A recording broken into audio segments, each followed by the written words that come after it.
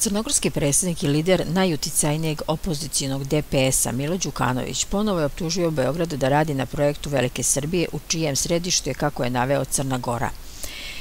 Svedočimo po vampirenju politike 90-ih sa neskrivenim ambicijama retrogradnih snaga da svoje ciljeve iz tog vremena ostvare, danas drugim sredstvima.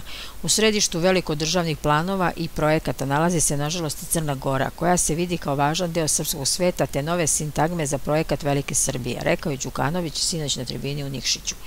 Izbori u Nikšiću biće održani u nedelju 14. marta u atmosferi velike napetosti.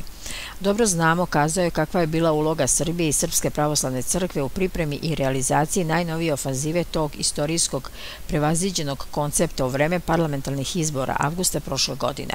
On je kazao da je danas u kampanji za lokalne izbore u Nikšiću ta uloga još agresivnija i otvorenija potpomognuta od strane domaćih snaga od onih koji hoće da bez imalo stida izdaju da prikažu kao modernu demokratsku vrlinu, a koja nažalost ima drugu genezu u Crnoj Gori od Andrija Radovića do Andrije Mandića, rekao je Đukanović.